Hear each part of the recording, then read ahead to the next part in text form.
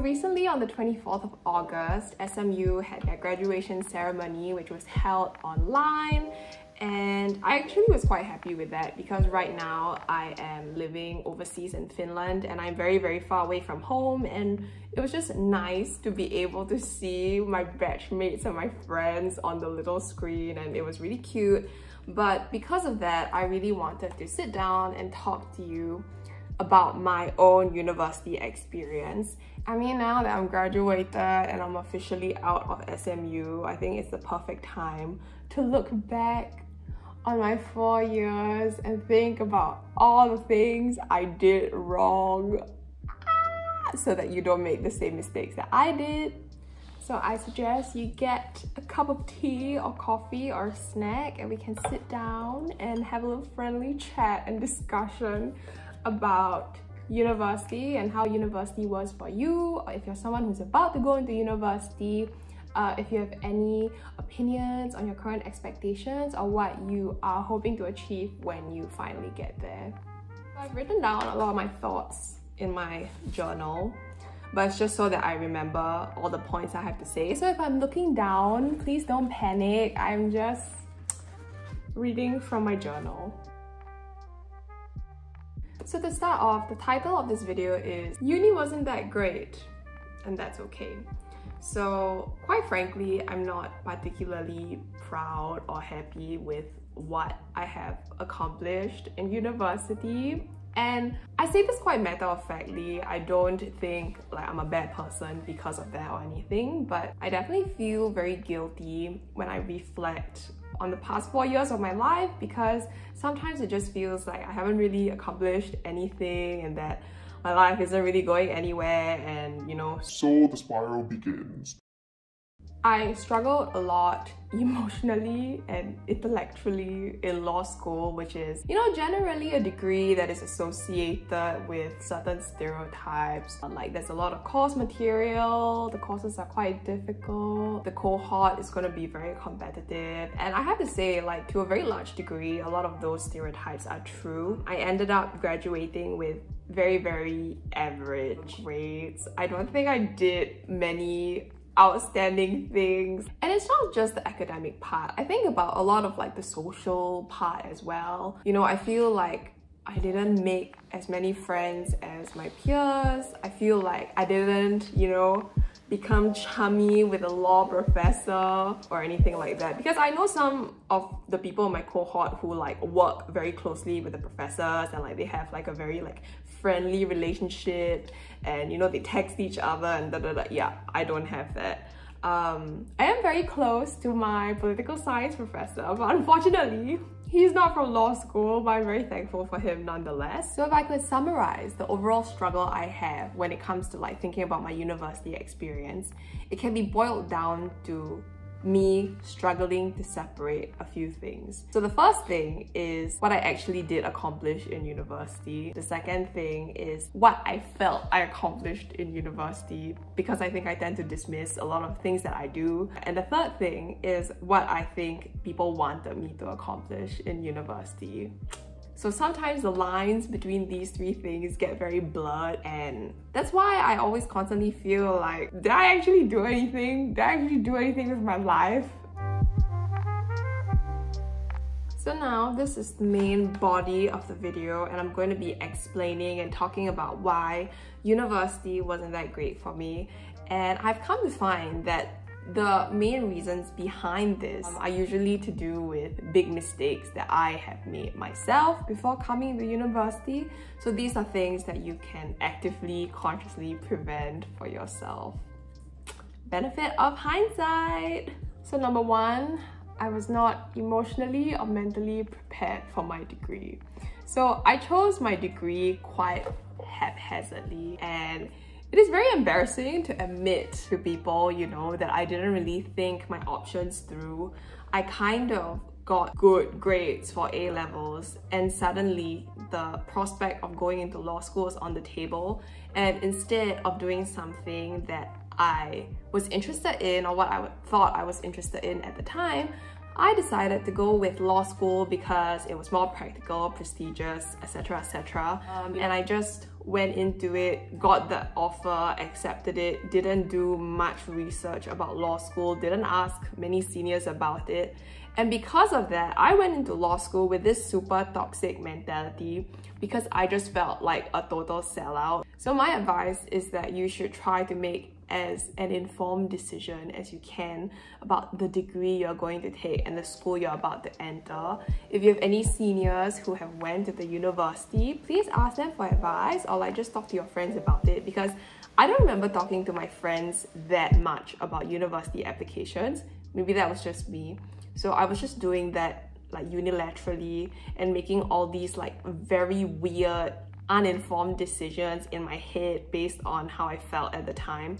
And I feel like if I had done a bit more of the mental and emotional footwork before going into university, I would have definitely been in a better state to deal with everything. Because of course, university can be quite overwhelming. You are learning completely new things, you're meeting completely new people. So just be mentally prepared for that. I don't know what else to say.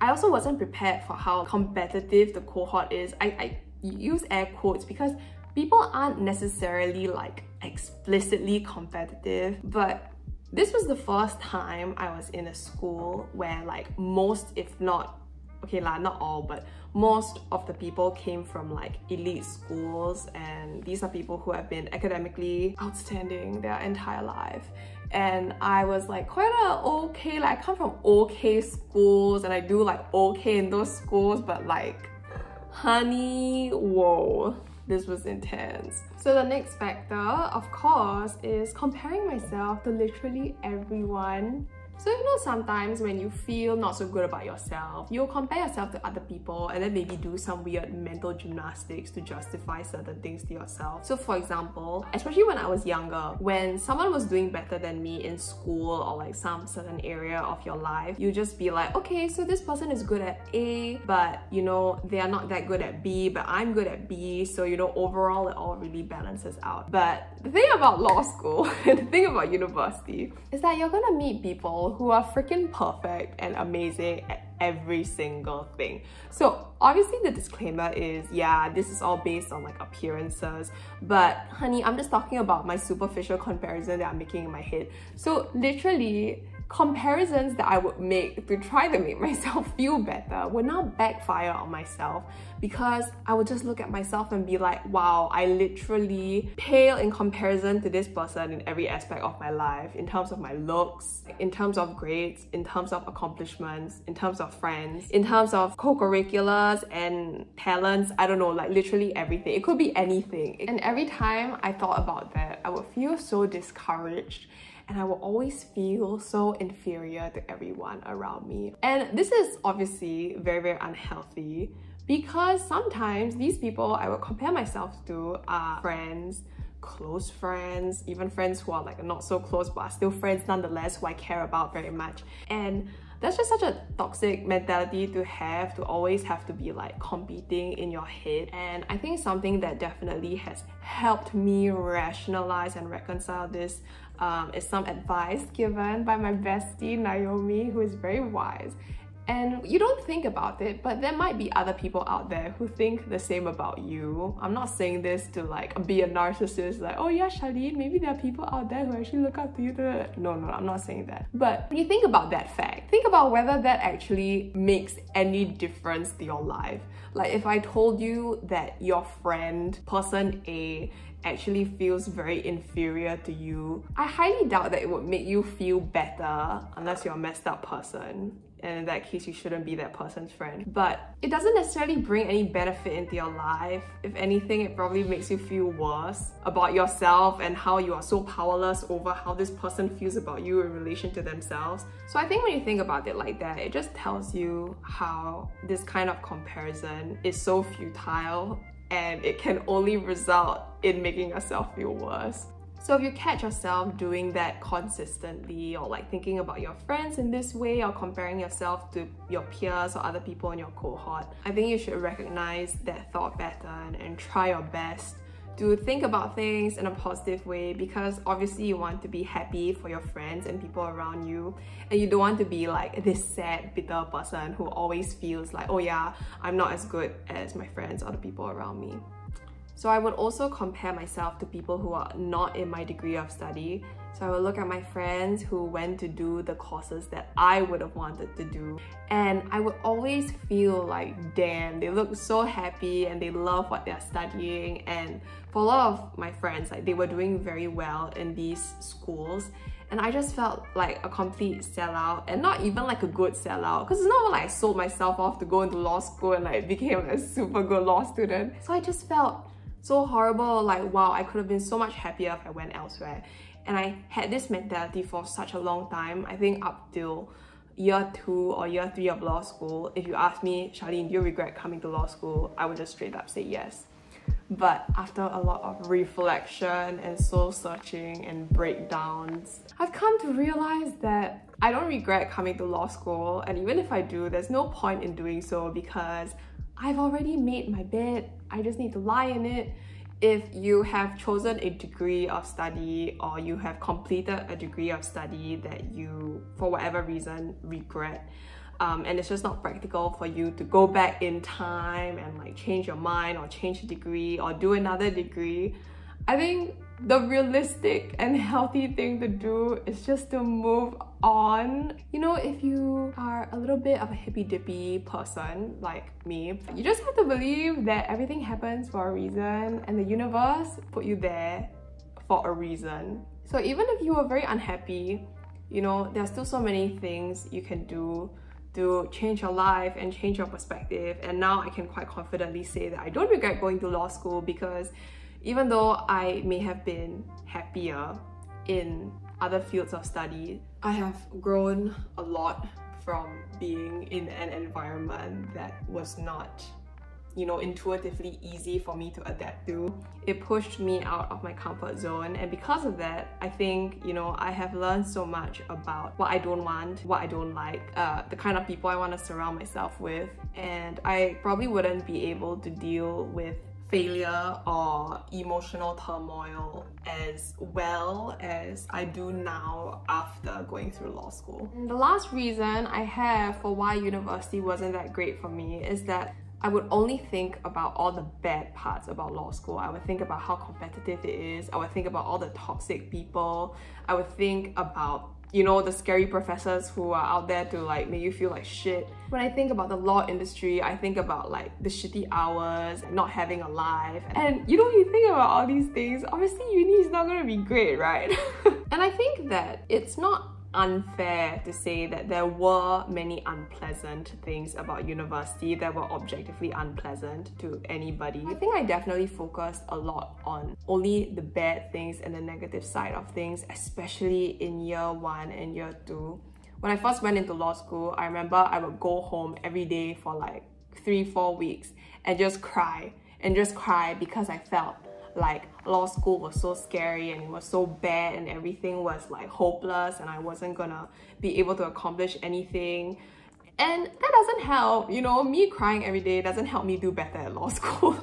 it just makes me feel even worse about myself and it makes me want to involve myself less in law school, which is the opposite of what you want to happen. So thankfully in year three and four, I managed to like get my emotional shit together and you know law school became a lot more enjoyable when you know you stop focusing on like the toxic environment and the competitiveness and you like just focus on yourself and your friends and like having a good time and you just focus on what you want to do and try not to think so much about what everyone else around you is doing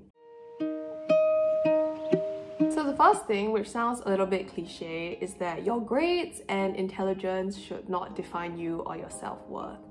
So after going to law school and being in such a like grade obsessed environment, along with very academically inclined people, I can safely say that at this point in my life, I really don't care if people perceive me to be intelligent or you know if people think that my grades are not that great of course, I know that grades are important for practical reasons if you want to get certain jobs or open certain doors. But I think it is so dangerous and bad for you to attach your self-worth and confidence to something that is so tenuous and something that is so transient. So it, it's not just grades, but it's also, um, you know, whether people perceive you as intelligent and, you know, more conventional means of success. Like, oh, did you get this certain position or this certain amount of pay? Because it changes all the time. I feel like my grades were like like that in law school and I've seen so many people who have beaten themselves up for not getting good grades and I just feel like the grief is not worth it and it can really do a number on your mental health if you are doing this to yourself. So please don't do it, especially in university. The second key takeaway is that things are always changing. So how we do at university does not equal necessarily how we're gonna do later in life.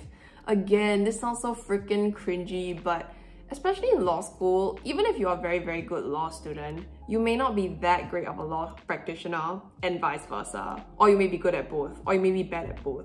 Who knows? You just have to go out there and try it. I have friends or people very close to me who have done very well their whole lives and then suddenly not doing so great in law school and then they feel like they can't do well in the future. But that's completely not true.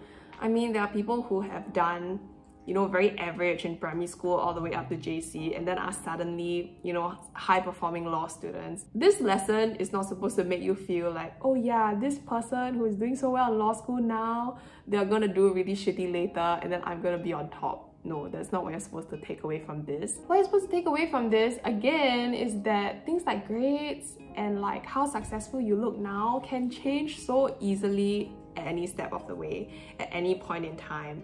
And the only thing you can really do is to do your best, you know, have no expectations but very high hopes. I think this point for me is very heartening because you know, in life, there is a season for everything, and how you do now doesn't necessarily mean that you will do the same way in the future. So we should never, of course, take things for granted or be complacent.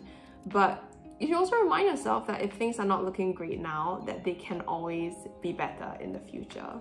And the third big takeaway is don't be afraid to be different and unconventional. I definitely see myself as a very like weird or like unconventional law student. There's a very like stereotypical idea of what a law student should be like, which to me is, you know, very serious, very intellectual, very academically driven. And, you know, I definitely don't feel like those are my defining characteristics. Not that I think I'm stupid or anything. But anyway, I mean, obviously, aside from myself, there are also many people in my batch who are not afraid to, you know, be a little bit different. For example, me and my friend Randy started doing YouTube in our last semester of law school, which is absolutely ridiculous, but we really love it. Um, there are people who do a lot of like cool performing art stuff. There's a guy who's super into triathlons. You know, just have a life outside of law school, have different passions. You know, university is not your entire life.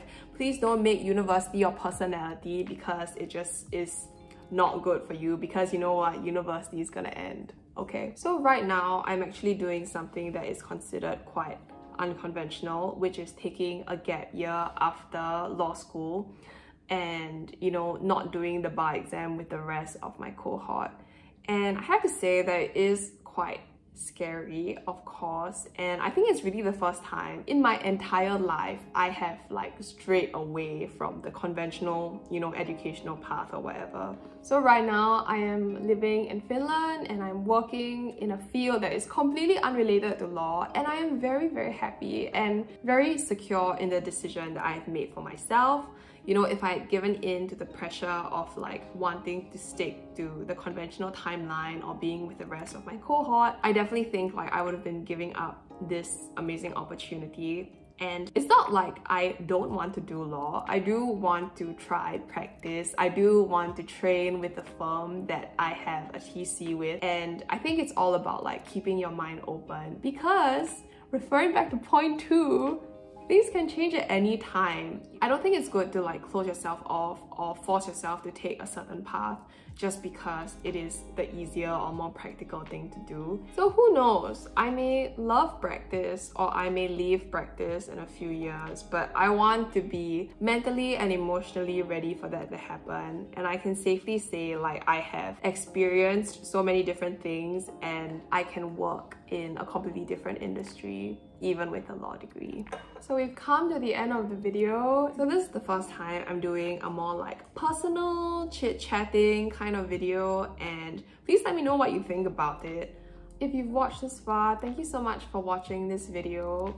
Please share your thoughts and comments. I would love to know and engage in some lively discussions in the comment section down below and I will see you in the next one.